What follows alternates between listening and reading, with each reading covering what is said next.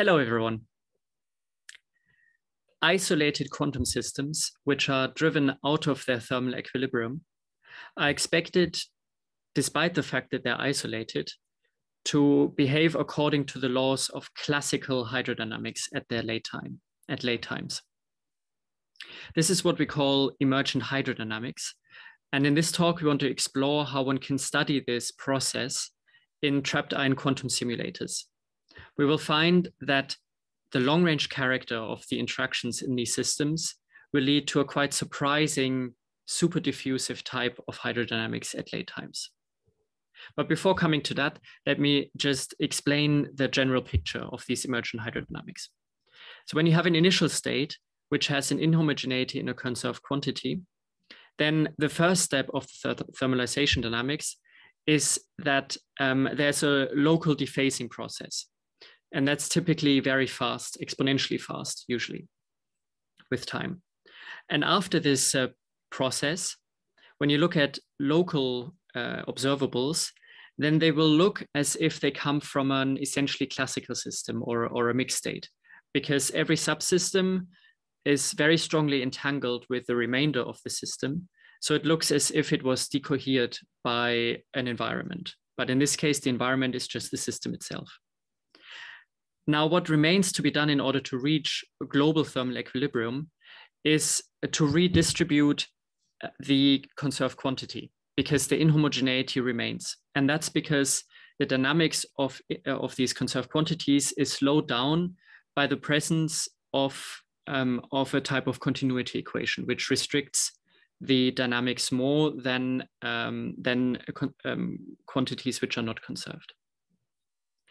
Now, uh, this is an exciting thing to study because it's, it's expected to be very, very generic. Um, every quantum system with conserved quantities should behave that way. But it is very hard to study as well because, um, uh, because this dephasing process um, comes with a lot of entanglement. So sometimes people say there is a sort of entanglement barrier which restricts us from really studying this, uh, this emergent type of, of classical transport. Um, yeah, so in particular, numerical methods like matrix product state methods have a very hard time to reach this regime. And it is also a challenge for quantum simulators to really get there. Now, what is this uh, emergent classical transport process? Uh, one way, one way to think about it is that there is an there is a type of random walk emerging. And um, if you have short range interactions, it will uh, look a bit like the one that is displayed up there. So there are step sizes and you're at each, each point in time, you have the choice of going left or right. And at very late times, the probability of finding the excitation at a certain location will be Gaussian distributed. And that's because of the central limit theorem, which tells us that if you make many steps, then um, the probability distribution will be Gaussian and the, the, the diffusion coefficient, which kind of um, determines the shape of, of this probability distribution, is essentially given by the variance of the step sizes that you make. And this explains why diffusion is so ubiquitous, because most interactions we know in nature are of this short range type. Now, in trapped ions, interactions are not necessarily short range. The Hamiltonian looks like this. You have uh, XY interactions between spins. So here the spins are represented by um, two internal degrees of freedom of the ions. And, um, and these ions can interact, or the, the internal degrees of freedom can interact with each other by a laser which couples the internal degrees of freedom with the phonons of the ion crystal. And it can be shown that effectively, if this coupling is very off resonant, um, it leads to this type of XY interactions with, um, with an interaction strength which, de which decays like one over the distance to the power of alpha. And alpha is tunable in the system. Now, what's important is that the U1 symmetry of this model leads to a, a global conserved uh, asset magnetization. Yeah. Now the question is, it does uh, is this uh, what what type of hydrodynamics do we observe and um, and to to to look to check whether the picture that i drew earlier is is correct we need to find out whether the variance of the step sizes is finite And what is the step size in this case? Well, one can think about it in terms of Fermi's golden rule, that kind of a flip-flop process has a transition amplitude which goes like one over the distance to the power of two alpha. And what we find is that actually um, this uh, transition amplitude will be um, will have a variance which is infinite if alpha is smaller than 1.5.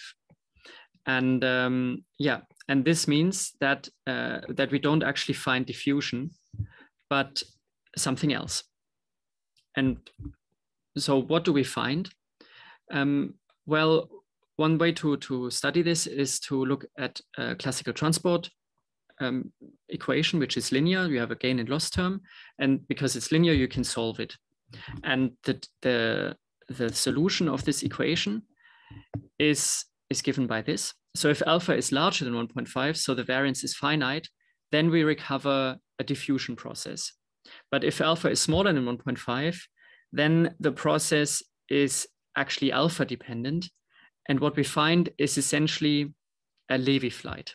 So it's a super diffusive transport process where with a dynamical exponent given by 2 alpha minus 1, which it depends on alpha. So one can tune now the transport process from diffusive to super diffusive if alpha is changed.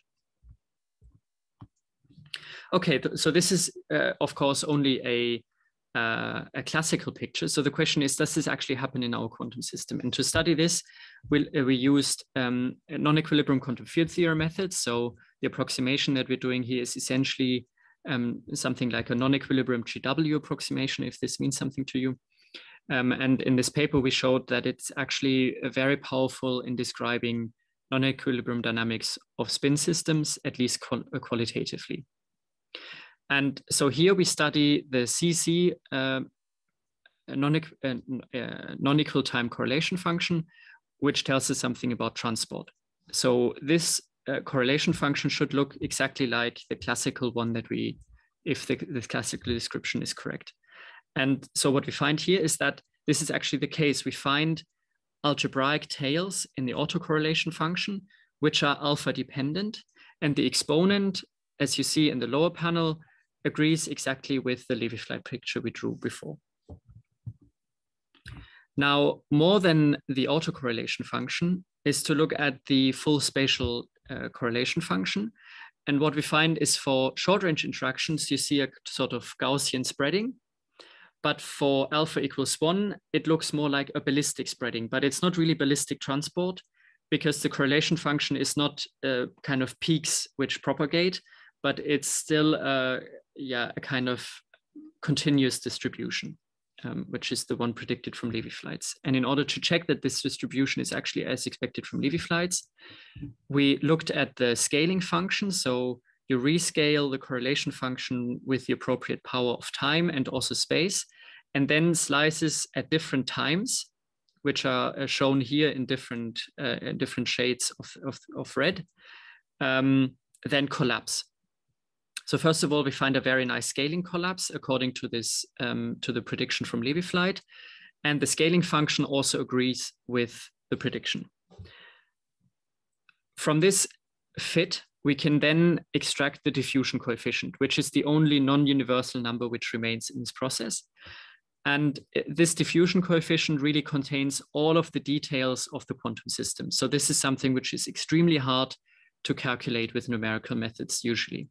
And so here we, of course, don't have, don't look at the exact dynamics, but we have made some approximation. So in order to check yeah, so we have extracted the diffusion coefficients also from these numerical methods, and you can find them in this paper.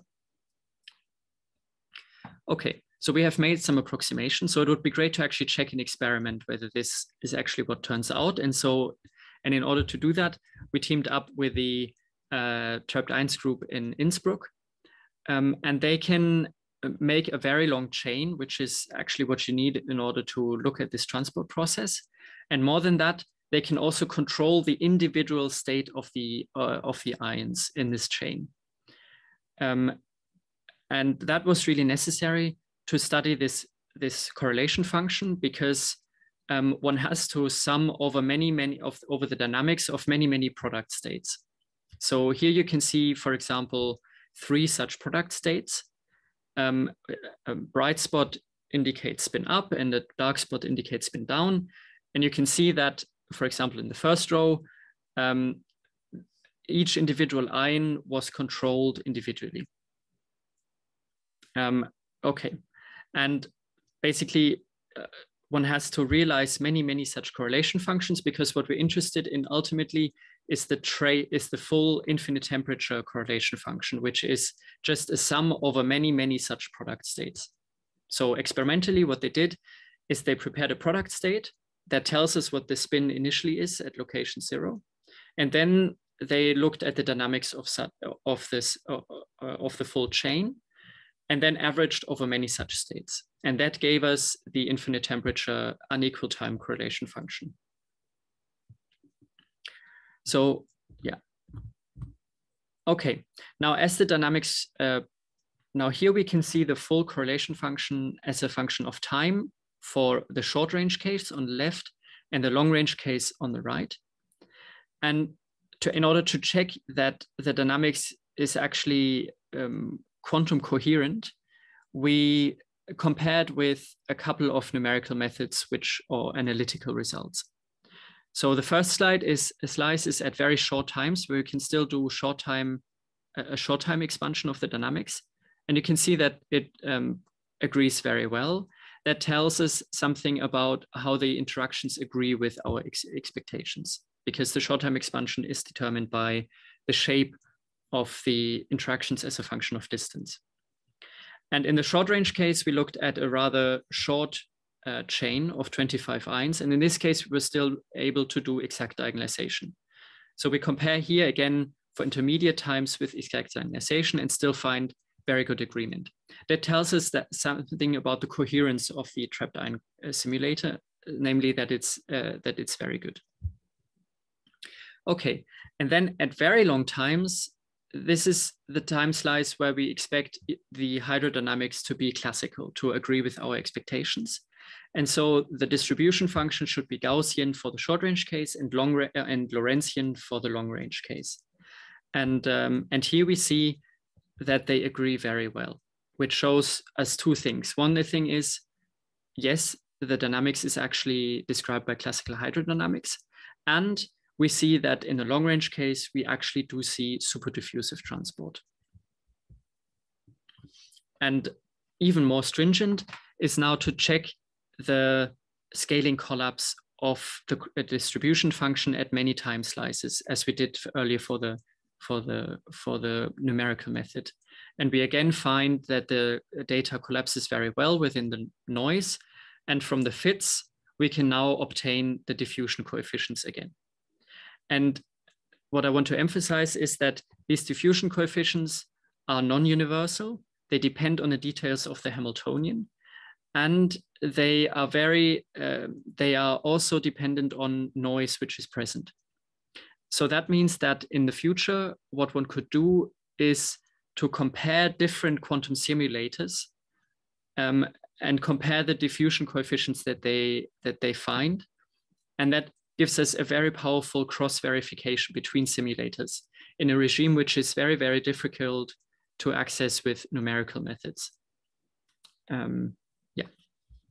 So with that, I want to end and thank the people who are involved. So the theory was, uh, was done in Munich under supervision of Michael Knap, um, and Isabella and I worked together on developing this the classical method. Um, yeah, and in uh, in Innsbruck, the experiment was was carried out um, especially by uh, by Manoj and Florian, who were doing the hard work in the lab. Okay, so here are my conclusions. And if you want to find out uh, a little bit more, um, you can check out these papers.